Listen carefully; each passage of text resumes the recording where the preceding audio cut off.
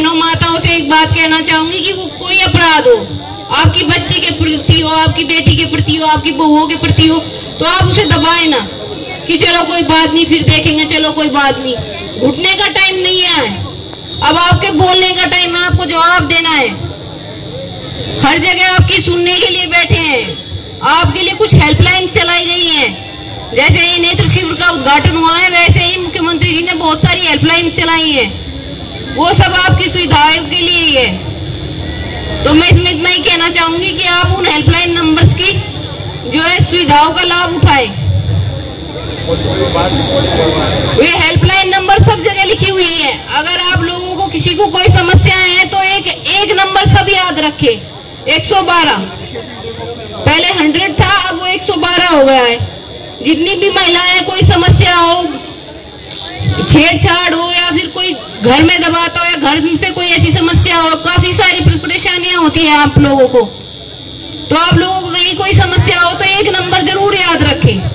112 जो पढ़ी लिखी है उन्हें तो पता है, लेकिन जो हमारी माए बहने ताई, चाची नहीं जा पाई स्कूल तो उनमें जो बच्चियाँ आपकी स्कूल जाती हैं, हम स्कूलों में प्रोग्राम करते हैं, वो बताती हैं तो आप इस चीज़ को ध्यान रखें कि इस नंबर को बिल्कुल याद रखें। और याद रखने के साथ अपने बच्चों से मिलाना भी सीखे।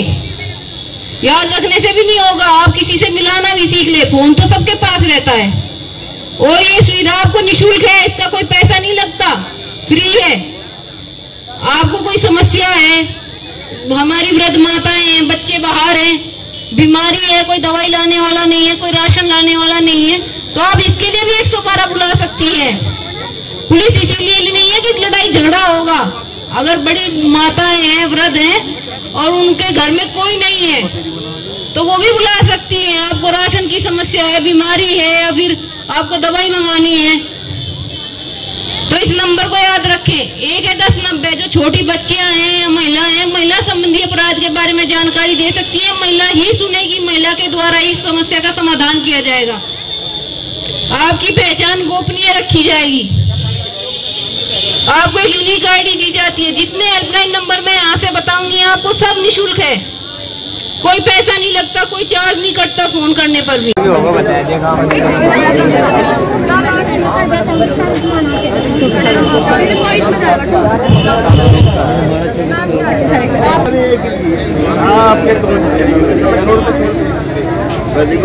ये अध्यापक भी नितिन जी सुशील जी रुचि जी नितिन जी सुशील जी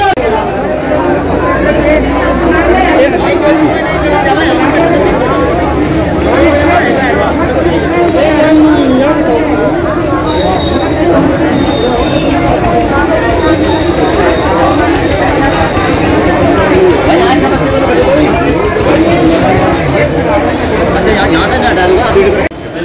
मर्ज़ी है वो रुकना चाहे खाना खा के जाए। और नहीं जा रुकना चाहते अच्छा।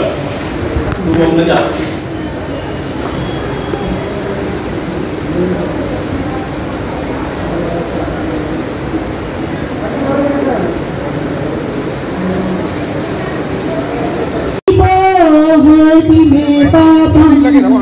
दीपो